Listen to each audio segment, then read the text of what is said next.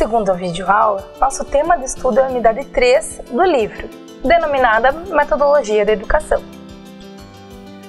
Abordaremos as pesquisas qualitativa e quantitativa em educação no Brasil e as abordagens teórico-metodológicas na pesquisa em educação, além de apresentar e discutir alguns tipos de pesquisa. A pesquisa qualitativa tem como pressuposto o vínculo entre o mundo objetivo e a subjetividade do sujeito, e não requer necessariamente o uso de métodos e técnicas estatísticas. Sua fonte de coleta de dados é o ambiente natural e, por isso, ela é descritiva, sendo o pesquisador o instrumento-chave para sua realização. Nessa pesquisa, é comum o uso de entrevistas, observações e outras dinâmicas de grupos. A pesquisa quantitativa considera que tudo pode ser quantificável, ou seja, seu pressuposto é traduzir em números opiniões e informações para classificá-las e analisá-las. Por isso, ela requer o, o uso de recursos e técnicas estatísticas, sendo comum o uso de questionários, de formulários com relação à seção 3 da unidade 3, intitulada Abordagem Teórico-Metodológica, ela refere-se ao método que será utilizado na pesquisa, ou seja, que está relacionado à concepção de pesquisa, da técnica que será utilizada e da concepção conceitual quanto à prática do professor. Na pesquisa em educação, três concepções embasam nossos estudos: o positivismo, o materialismo histórico dialético e a fenomenologia. As pesquisas em educação podem ser realizadas a partir de diferentes abordagens teórico-metodológicas e diversos tipos. A característica essencial de uma pesquisa é a formulação do problema, ou seja, qual é a problemática a ser investigada. Ele, em geral, é formulado como uma pergunta e deve ser claro e preciso, delimitado em uma dimensão viável, ou seja, depende da relevância, possibilidades de execução, recursos e tempo. Com relação aos tipos de pesquisa, em geral temos seis pesquisas, e existem outras que você poderá observar a partir das leituras propostas para a atividade. As pesquisas podem ser classificadas de acordo com a sua fonte de pesquisa, ou seja, os documentos que serão utilizados. E aí nós temos a pesquisa bibliográfica e a pesquisa documental. A pesquisa bibliográfica é desenvolvida a partir de obras publicadas, ou seja, livros, artigos, monografias, dissertações, teses, entre outros. E é um tipo de investigação detalhada que discute a temática pesquisada. A pesquisa documental é realizada a partir de documentos públicos e oficiais, como, por exemplo, diretrizes curriculares, diários de classe, projetos políticos pedagógicos, entre outros. Ela pode ainda analisar documentos pessoais, como fotos, cadernos escolares, entre outros.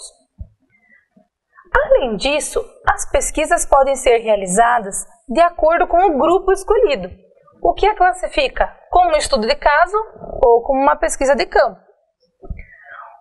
O estudo de caso destina-se a analisar em profundidade um determinado caso, focalizando a prática social de um determinado grupo, com a descrição de uma riqueza de detalhes.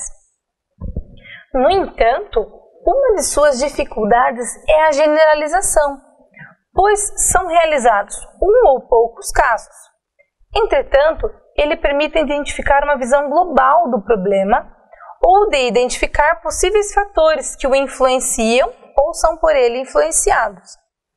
A pesquisa de campo, por outro lado, focaliza uma comunidade de trabalho, de estudo, entre outros, e é desenvolvida por meio da observação direta das atividades do grupo estudado, com a imersão do pesquisador na realidade estudada. Como a pesquisa de campo não consta no nosso livro, mas é importante para estabelecer um contraponto com o estudo de caso, procure outros livros ou artigos que falem mais sobre o tema e também a leitura proposta.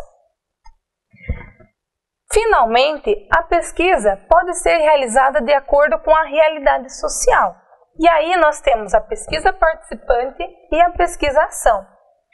Os problemas de pesquisa da pesquisa participante estão relacionados a uma realidade social, em que o pesquisador se insere na comunidade estudada e, juntamente com ela, detecta uma problemática e, em conjunto, eles buscam uma solução viável. Por isso, é importante um diário de campo para o registro do, do processo. A pesquisa participante visa a discussão do processo social, da prática social em suas contradições e conflitos. Preocupa-se, portanto, com o significado ou o sentido das ações desenvolvidas ao longo do processo, e não somente com o produto ou o resultado final. A pesquisação tem como objetivo provocar transformações na realidade social estudada, e é comum que ela surja da prática do próprio pesquisador ou do envolvimento com uma comunidade. Na pesquisação, nós temos um ciclo: observação, planejamento, reflexão e intervenção.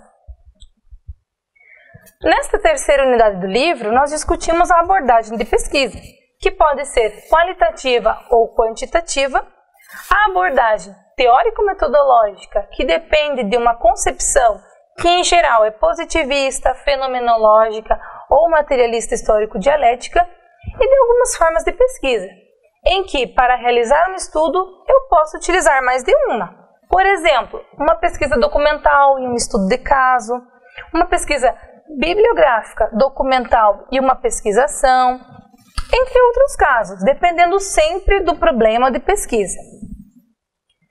Então, uma pesquisa depende de uma abordagem qualitativa ou quantitativa, de uma abordagem teórico-metodológica e dos tipos de pesquisa que serão utilizados para descrever a realidade social e analisar aquele objeto.